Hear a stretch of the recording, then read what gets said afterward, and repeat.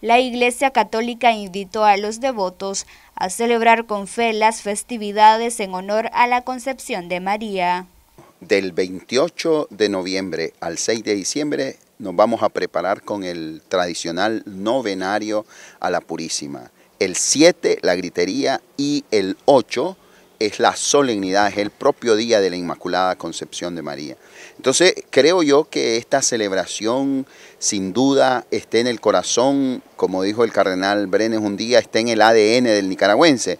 Entonces, hay quienes se han ido preparando ya materialmente en medio de las limitaciones para compartir, porque eso es lo bonito de la Purísima, nos, nos pone en, en modo fraternidad, en modo compartir.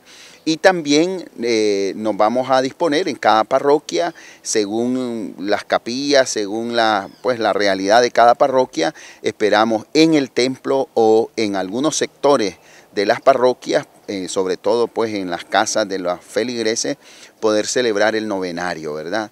Eh, generalmente hay diversa dinámica, hay quienes, por ejemplo, vamos a ir a cada sector de la parroquia, Vamos a tener la misa y el rezo de la novena. Y la idea es que poco a poco cada día nos vayamos entusiasmando eh, para celebrar con esperanza estas festividades y sobre todo también con esa confianza y esa fe de la Virgen que en medio de, las grandes, de los grandes desafíos ella supo decirle a Dios sí y mantenerse fiel. Es lo que la iglesia creo tiene que hacer en este novenario. Mantenerse fiel, llena de esperanza y compartiendo la alegría de la fe. En primer lugar, recordar que son festividades de fe. Sin la fe eso no tiene sentido. Que la fe nos lleve a fraternizar, a compartir, es bonito, por supuesto. Ojalá que recibamos con amor lo que con amor nos van a entregar, tanto en los novenarios como en la gritería. Y no nos olvidemos que eh, la Virgen María es modelo. Y por eso, cada día de la novena, en la consideración, hay un aspecto de la Virgen que nos alecciona, que nos orienta a ser hombres y mujeres de fe, de esperanza, de caridad, de fortaleza y de fraternidad y por supuesto de paz en medio de nuestras realidades. Monseñor Buanerges Carballo, vicario episcopal de pastoral de la Arquidiócesis de Managua, insta a los fieles a tener cuidado con respecto a las medidas sanitarias para prevenir el COVID-19.